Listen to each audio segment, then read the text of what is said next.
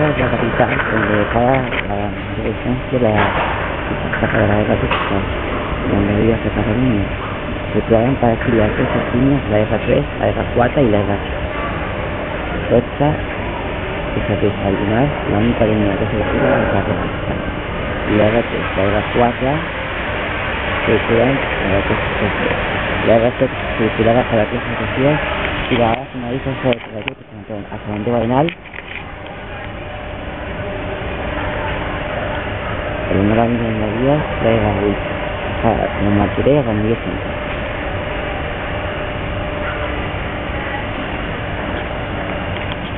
làm đi